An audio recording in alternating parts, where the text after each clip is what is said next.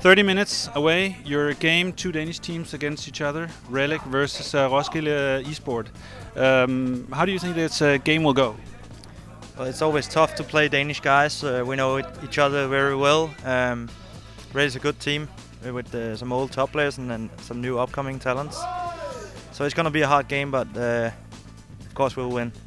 And and why do you think uh, Relic will win this match?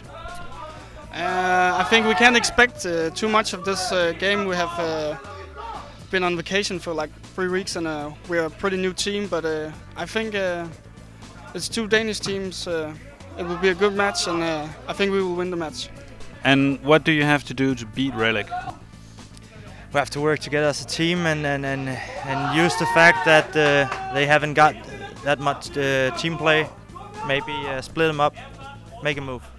And what do you have to do to beat uh, Roskilde? We need to focus on ourselves. We need to, to hit the targets. We don't uh, we don't want them to get the first kills. The, the first kills is very important, so we need to take them out first, and then we can take it from there.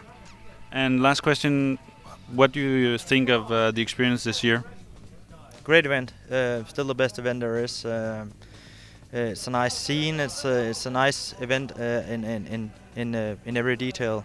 I think it's great work.